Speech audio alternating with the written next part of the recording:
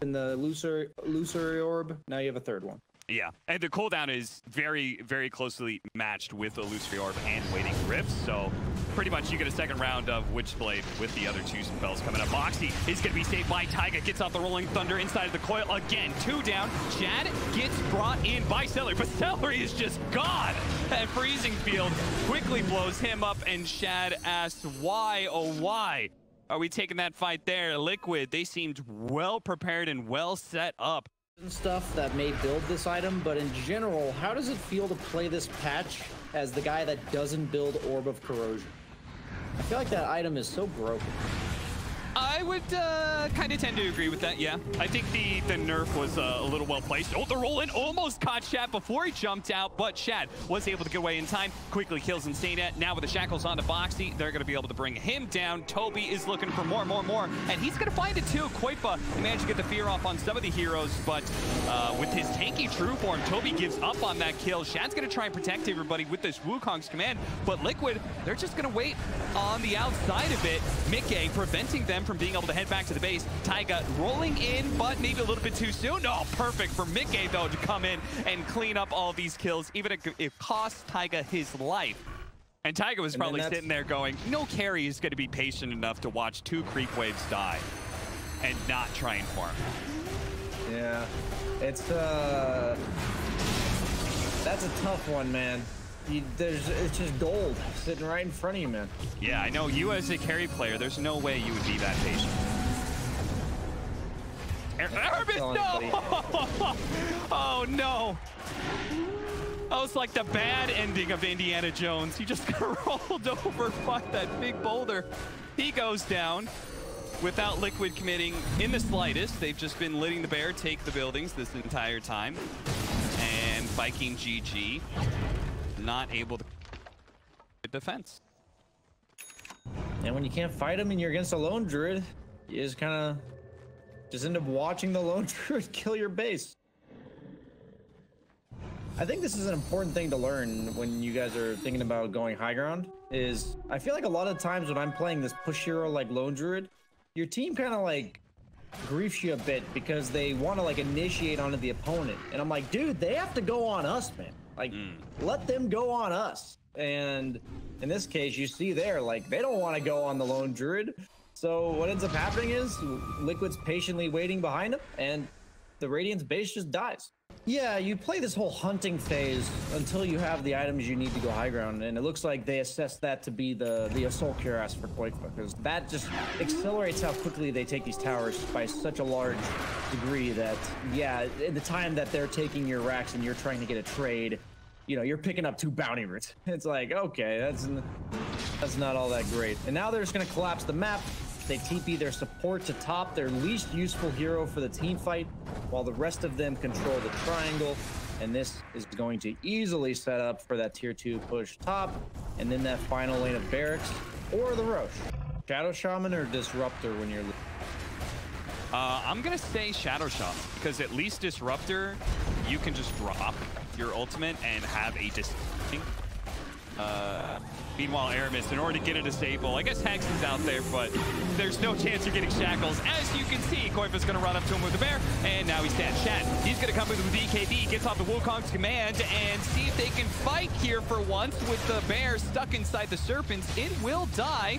Qojqva says, don't worry, I've got another one where that came from. Boxi, he gets a little bit low. Shad doesn't want to go outside of his ring. His ring is gone now, and so too is the armor. So Qojqva quickly takes him down in just a couple of chomps of the bear. That is truly it for Viking GG. Oracle, uh, it's weird. I feel like Oracle's really good against Slardar if her if his carry offers a lot of damage in the lane, like a troll or something like that. Uh, is pretty lackluster for damage at this stage in the game, so even though you can purge a sprint, you can kind of hold on to it for when he wants to. As you saw, he waited until after Celery used the Dispel on himself and ended up chasing him down. I feel like this is a really nice lane for Slardar, as we also see Enigma biting the dust top.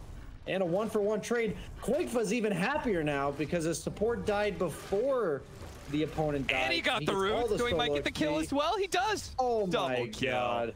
That was great. They tried to punish uh, Taiga for moving forward and using his Eidolons to, to kill one of the boars. And uh, instead, Qojqva walks away with double kill. Looks like Boxi he might uh, be rushing a blink, maybe? He's got 1,500 gold saved up. Hasn't queued anything up just yet, though. We're getting coming in. Beastmaster Takes a while to be able to get into that outpost, but he finally arrives and does manage to kill the Crystal Maiden with a Primal Roar. Does mean they have nothing left in the tank to be able to kill Qojqva, and if anything, Qojqva could be killing Aramis here with Boxi coming into the other side. Celery's going to make sure he's not going to die so easily, though. Gets off his ultimate, heals him up a little bit, but now it's Celery who's going to be in trouble as the Bear finally does get the ensnare needs.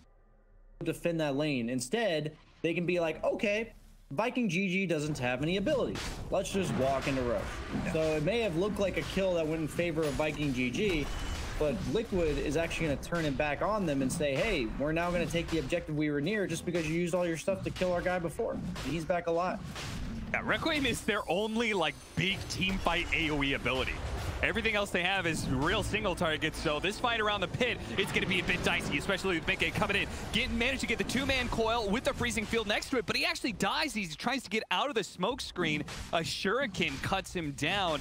That was not the worst thing for Viking GG, but it still doesn't win them this Roshan fight as they are still trying to stall out the buyback from Celery, so he's still going to be able to rejoin them here. And he has his ultimate as well. Boom's just going to try and throw some damage in the pit, scare them away. He cannot afford to let Liquid get this Aegis. Yeah, this is the fight me Roshan. They actually are doing this in order to force a reaction from Viking. They do have the Blink Dagger on Taiga as well. That is a super farmed Enigma, actually more farmed than his offlaner, something we actually mentioned in the first game, where sometimes they kind of just demote Boxi purely based on Taiga's hero pool. Enigma, one of the best supports in the game, if not the best, to get these early items up on. And uh, they smoke again on Liquid.